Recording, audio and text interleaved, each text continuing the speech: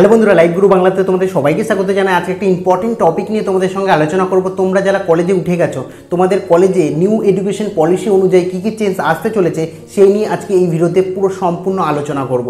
তো তোমরা যদি কলেজে স্টুডেন্ট হয়ে থাকো এবং জানতে চাও যে আমাদের কলেজে এই নিউ এডুকেশন পলিসি অনুযায়ী কী কী চেঞ্জ হতে চলেছে, তো এই ভিডিওটি প্রথম থেকে শুরু করে শেষ পর্যন্ত ওয়াচ করো। তোমাদের কলেজের নিউ এডুকেশন পলিসি অনুযায়ী চেঞ্জিংয়ের ব্যাপারে সমস্ত কিছু ধারণা তোমরা পেয়ে যাবে। এখনও পর্যন্ত ভিডিওটিকে লাইক না করে থাকলে অবশ্যই ভিডিওটিকে লাইক করো এবং চ্যানেল নতুন দর্শক হয়ে থাকলে রেড বাটনে ক্লিক করে চ্যানেলকে সাবস্ক্রাইব করার সাথে সাথে বেল আইকনে অবশ্যই ক্লিক করো কারণ এখানে প্রতিনিয়ত স্টুডেন্টদের জন্য ভিডিও আপলোড করা হয়। তো চলুন বন্ধুরা, ভিডিওটি শুরু করা যাক। বন্ধুরা, কিছুদিন আগে নিউ এডুকেশন পলিসির ওপর কি কি চেঞ্জ করা হয়েছে তার সম্পূর্ণ একটা বিস্তারিত ভিডিও কিন্তু আমি রীতিমতো করে ফেলেছি, কিন্তু তোমরা অনেকেই বলেছ যে কলেজে অ্যাকচুয়ালি কী কী চেঞ্জ হতে চলেছে সেই নিয়ে একটা ভিডিও করে দিন। সেই কারণে আজকে এখানে শুধুমাত্র কলেজ নিয়েই আলোচনা করব। আর নিউ এডুকেশন পলিসি সম্বন্ধে ডিটেলসে জানতে চাইলে তোমরা আই বাটনে ক্লিক করে ভিডিওটি দেখতে পারো। এখানে শুধুমাত্র কলেজ নিয়ে আলোচনা করব। তো দেখো, সবার প্রথমে তোমাদের যে চেঞ্জিং হয়েছে, এ তোমাদের যে ডিগ্রি কোর্স ছিল কলেজে অ্যাডমিশন নেওয়ার ডিগ্রি কোর্স সেই কোর্সে তোমাদের অ্যাডমিশন নিতে গেলে কি হয়? ক্লাস টুয়েলভের এর যে মার্কশিট রয়েছে বা ক্লাস টুয়েলভে যে নম্বর পেয়েছে, সেই নম্বর অনুযায়ী তোমাদের কি হচ্ছে? কলেজে ভর্তি নেয় কিন্তু তোমাদের এর নিউ এডুকেশন পলিসি অনুযায়ী কিন্তু তোমাদের সেই রকমভাবে তোমাদের কলেজে ভর্তি হবে না। তোমাদের একটা এক্সাম দিতে হবে। ওই এক্সাম দেওয়ার পর তোমরা কিন্তু কলেজে ভর্তি হতে পারবে। এই একটা এন্ট্রেন্স এক্সাম দিতে হবে কলেজে কি এন্ট্রেন্স এক্সাম সেটা হচ্ছে ক্যাট তোমরা মনে করছ যে ক্যাট সেই ক্যাট কিন্তু এখানে না। এখানে ক্যাট ফর হচ্ছে কমন অ্যাম্পলিকিউ টেস্ট এই টেস্ট তোমরা দেওয়ার পরে তোমাদের যে নম্বর হবে তার পার্সেন্টেজ এবং তোমরা ক্লাস টুয়েলভে যে নম্বর পেয়েছ মানে উচ্চ মাধ্যমিকে যে নম্বর পেয়েছ তার পার্সেন্টেজ এই দুটোকে মার্চ করে তারপরে এই পার্টি এই দুটোর পার্সেন্টেজের ওপর ভিত্তি করে কিন্তু তোমাদের অ্যাডমিশন নেওয়া হবে। মানে এবছরে যেটা হচ্ছে তোমাদের শুধুমাত্র টুয়েলভে যে রেজাল্ট রয়েছে, সেই মার্কশিটের ওপর ভিত্তি করেই তোমাদের কি হচ্ছে অ্যাডমিশন দেওয়া হচ্ছে। কিন্তু বিগত বছরগুলোতে নিউ এডুকেশন পলিসি অনুযায়ী যেটা বললাম ক্যাট এক্সাম ওই ক্যাট এক্সামের নম্বর এবং তোমাদের টুয়েলভের যে নম্বর পেয়েছ, এই দুটোর ওপর ভিত্তি করে তোমাদের কি হচ্ছে অ্যাডমিশন নিয়ে নেওয়া হবে। তো এরপরে তোমাদের যেটা মেজর চেঞ্জ এসছে, এ অনেকটাই পরিবর্তন হয়েছে, সেটা হচ্ছে তোমাদের যে কোর্স ডিউরেশন ছিল, সেটা হচ্ছে চার বছর হয়ে গেছে। আগে কি ছিল? তোমাদের তিন বছর পর তোমরা হচ্ছে ডিগ্রির কোর্সের একটা সার্টিফিকেট পেয়ে যেতে এক্ষেত্রে তোমাদের কি হয়েছে? চার বছর হয়ে গেছে। চার বছর মানে তোমরা মনে অনেকেই মনে করছ যে চার বছর আমাদের যে কলেজের কোর্স হয়ে গেছে, সেক্ষেত্রে আমাদের এর অনেকটা টাফ হয়ে গেছে। কিন্তু আমি তোমাদের ক্ষেত্রে বলি, তোমাদের ক্ষেত্রে টাফ না, অনেকটা সহজ হয়ে গেছে এবং তোমাদের ক্ষেত্রে অনেকটা সুবিধা হয়েছে। কি সুবিধা সেটা আমি বলে রাখি। তো সবার প্রথমে আগে কি ছিল? যখন একটা স্টুডেন্ট ভর্তি হতো, সেক্ষেত্রে তাদের কি হতো? সেক্ষেত্রে তাদের সবার প্রথমে কি হতো? ও যে ফার্স্ট ইয়ার সেকেন্ড ইয়ার এবং থার্ড ইয়ার পুরো কমপ্লিট করার পরে সে গ্র্যাজুয়েশন এর ডিগ্রি পেতো। মানে ডিগ্রি কোর্স তো পেতো। যদি সে সেকেন্ড ইয়ার পরে পড়াশোনা ছেড়ে দিত, সেক্ষেত্রে কি যখন সে অন্য কোনো জায়গায় জব করতে যেত বা জবের জন্য ইন্টারভিউ দিত, তখন সে বলতে পারতো না বা তার সার্টিফিকেট দেখাতে পারতো না যে অ্যাকচুয়ালি আমি সেকেন্ড ইয়ারে এই সার্টিফিকেট পেয়েছি। কেন? সেকেন্ড ইয়ারে কোনো সার্টিফিকেট দেওয়া হয় না। থার্ড ইয়ার কমপ্লিট করলেই তার ডিগ্রি কোর্সে সার্টিফিকেট দেওয়া হয়। কিন্তু এবছরের এই নিউ এডুকেশন পলিসি অনুযায়ী এই একটা বিশাল ভালো একটা জিনিস করে দিই যে কোনো স্টুডেন্ট যদি ফার্স্ট ইয়ারও ড্রপ করে মানে ফার্স্ট ইয়ার পড়াশোনা করে সেকেন্ড ইয়ারে পড়াশোনা না করে তাকেও, ও সেও তাহলে সার্টিফিকেট পাবে। কেউ সেকেন্ড ইয়ারের ক্ষেত্রেও সার্টিফিকেট পাবে থার্ড ইয়ারের ক্ষেত্রেও সার্টিফিকেট পাবে ফোর্থ ইয়ারের ক্ষেত্রেও সার্টিফিকেট পাবে।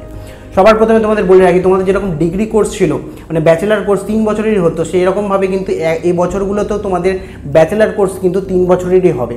চার বছরের তোমাদের হবে না, তিন বছরেরই হবে। কেউ যদি চায়, তাহলে তো চার বছর করতে পারে। মানে এখানে সবার প্রথমে তোমাদের বলে রাখি যে ডিগ্রি কোর্স কি বলছিলাম আমি? তিন বছরের হবে। কেউ যদি, আবার বলে রাখি তোমাদের সুবিধাগুলো কী কী সবার প্রথমে? কেউ ধরো এক বছর পড়াশোনা করল কলেজে এক বছর অ্যাডমিশন নেওয়ার পর এক বছর পড়ল, এক বছর পরে ছেড়ে দিল। সেক্ষেত্রে কী হবে? তাকে একটা সার্টিফিকেট কোর্স অনুযায়ী একটা সার্টিফিকেট দেওয়া হবে। মানে সার্টিফিকেশন সে কোর্স করেছে, এটা মানা হবে এবং একটা সার্টিফিকেট দিয়ে দেওয়া হবে যে এক বছর কমপ্লিট করেছে। এবার ধরো কেউ সেকেন্ড ইয়ার কমপ্লিট করল সেকেন্ড ইয়ার পড়াশোনা করেছে সেকেন্ড ইয়ার ফুল কমপ্লিট করে ফেলেছে, তখন তাকে কি দেওয়া হবে? ডিপ্লোমা কোর্সের একটা সার্টিফিকেট দেওয়া হবে যে সে ডিপ্লোমা কমপ্লিট করেছে। এবার ধরো কেউ থার্ড ইয়ার মানে তৃতীয় তিন বছর পড়ল এবং থার্ড ইয়ারও কমপ্লিট করল, সেক্ষেত্রে বিগত বছরগুলোতে যেরকম হতো ব্যাচেলারের একটা কোর্স দেওয়া হতো ব্যাচেলার কোর্স বা একটা ডিগ্রি কোর্সের সার্টিফিকেট দেওয়া হতো। সেক্ষেত্রে তোমাদের কি হচ্ছে? ডিগ্রি কোর্সের সার্টিফিকেট দেওয়া হবে মানে তিন বছর করলে তোমাদের সেটা কি হবে? সেটাকে বলা হবে হচ্ছে ব্যাচেলার কোর্স এবার চার বছরের ক্ষেত্রে তাহলে কি? ফোর্থ ইয়ার কমপ্লিট যারা চার বছর পড়বে মানে তিন বছর কমপ্লিট করে সে থামলো না, সে চার বছরও পড়বে, তাদের যে ব্যাচেলার কোর্স বা যে ডিগ্রি কোর্স দেওয়া হবে, সেই ডিগ্রি কোর্সটা দেওয়া হবে উইথ রিসার্চ মানে উইথ রিসার্চ একটা ডিগ্রি কোর্স দেওয়া হবে। মানে চার বছর কমপ্লিট করতে চাইলে। মানে কি বললাম, আরেকবার বলে দিই যে ফার্স্ট ইয়ার কমপ্লিট করবে, তাকে বলা হবে সার্টিফিকেশন কোর্স যে সেকেন্ড ইয়ার কমপ্লিট করবে, সেই কোর্সকে বলা হবে ডিপ্লোমা কোর্স এবং যে থার্ড ইয়ার পর্যন্ত পড়াশোনা করবে, তাকে ব্যাচেলার কোর্স সার্টিফিকেট দেওয়া হবে, এবং যে ফোর্থ ইয়ার কমপ্লিট করবে, তাকে ডিগ্রি উইথ রিসার্চ সার্টিফিকেট দেওয়া হবে। তাহলে তোমাদের ক্লিয়ার হয়ে গেছে মানে এখানে কি হচ্ছে, এ তোমরা কেউ যদি দু বছর মানে সেকেন্ড ইয়ার পর্যন্ত বা ফার্স্ট ইয়ার পর্যন্ত কমপ্লিট করো, তাহলে তাদের বেকার পড়াশোনা হবে না, সেক্ষেত্রেও তারা একটা সার্টিফিকেট পাবে যে ইন ফিউচার কোনো জবে গেলে সেই সার্টিফিকেট সে দেখাতে পারবে। এরপরে আরও একটা ইম্পর্টেন্ট বিষয় মাল্টিপাল ডিসপেন্সারি কোর্স মানে ধরো তুমি একটা কোর্স করছ কোর্স করার সাথে সাথে আরও একটা কোর্স করতে চাইছো।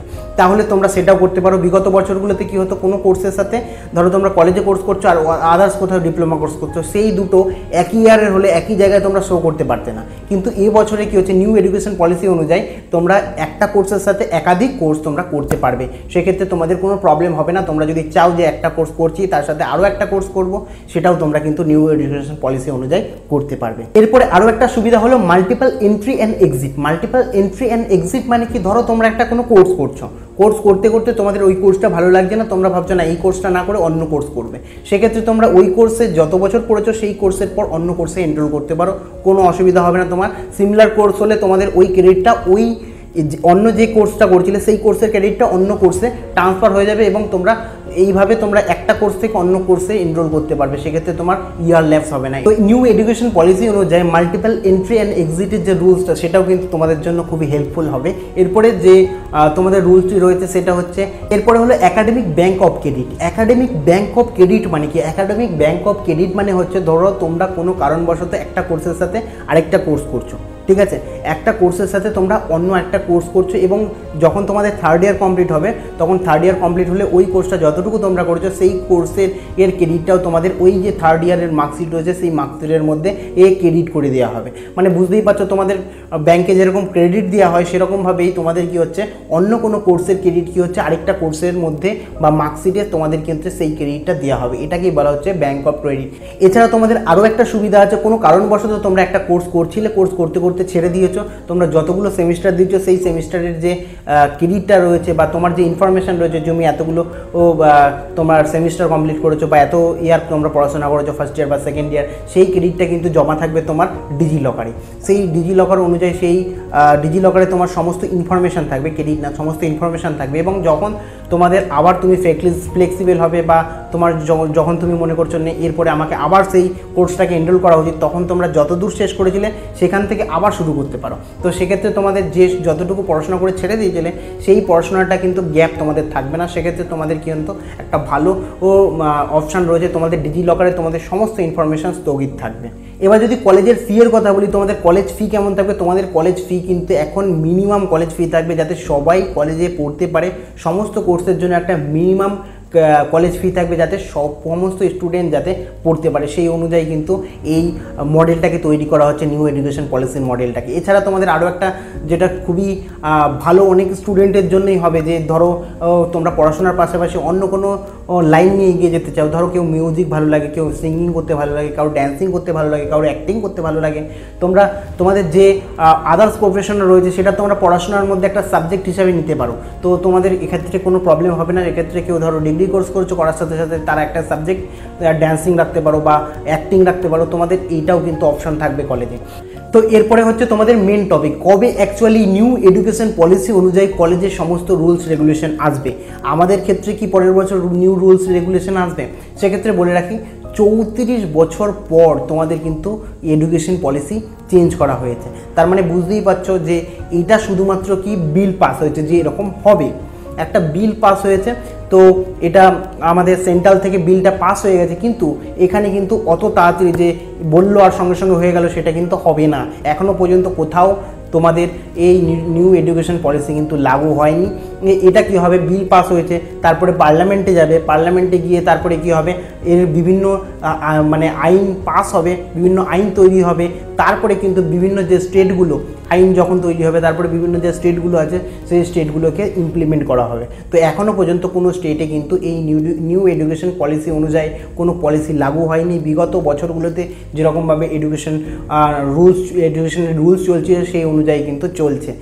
তোমাদের যেরকম বললাম যে এখন শুধুমাত্র বিল পাস হচ্ছে বিল পাস হওয়ার পর পার্লামেন্টে যাবে পার্লামেন্ট থেকে নিউ যে নতুন নতুন আইন তৈরি হবে এর বিরুদ্ধে, আইন তৈরি হওয়ার পর বিভিন্ন স্টেটে কিন্তু লাগু হবে। এখনও পর্যন্ত পুরো ভারতের কোনো স্টেটেই কিন্তু নিউ এডুকেশন পলিসি অনুযায়ী কোনো কিছু চালু হয়নি। একটু সময় লাগবে এবং কিছু কিছু নতুন রুলস এবং রেগুলেশন তোমরা পরের বছর থেকে দেখতে পারবে এবং যেটা বলা হয়েছে পরের বছর থেকেই তার কাজ আস্তে আস্তে ধীরে ধীরে ধীরে ধীরে শুরু হতে থাকবে। তো এখন তোমরা নিউ এডুকেশন পলিসি অনুযায়ী কলেজে কী কী চেঞ্জ আসতে চলেছে সেই নিয়ে তোমরা জেনে গেলে এবং তোমাদের কি মতামত? যে এই নতুন এডুকেশন পলিসি মানে NEP national education policy twenty twenty অনুযায়ী যে রুলসগুলো, ও কলেজে আসতে চলেছে, সেই রুলসগুলো, ও, আগের রুলসের থেকে বেটার না বেটার না? অনেকেই বলছিল যে চার বছর করে দিয়েছে, সেক্ষেত্রে আমার ক্ষেত্রে অনেকটা সমস্যাদায়ক। এখন তোমাদের পুরো বিস্তারিত আলোচনা করলাম সেই অনুযায়ী তোমাদের কি মনে হয়? তোমরা তোমাদের মতামত অবশ্যই কমেন্ট সেকশনে দাও যে এই রুলস আসা উচিত কি আসা উচিত না। আর ভিডিওটিকে এখনও পর্যন্ত লাইক না করে থাকলে অবশ্যই ভিডিওটিকে লাইক করো এবং চ্যানেলে নতুন দর্শক হয়ে থাকলে রেড বাটনে ক্লিক করে চ্যানেলকে সাবস্ক্রাইব করো এবং বেল আইকন অবশ্যই ক্লিক করো। কেননা এখানে এরকম ধরনের ইনফরমেটিভ ভিডিও রেগুলার আমি তোমাদের আপলোড করে থাকি। তো আজকের মতো এটুকুই, আবার দেখা হচ্ছে অন্য কোনো ভিডিওতে টেক কেয়ার বাই বাই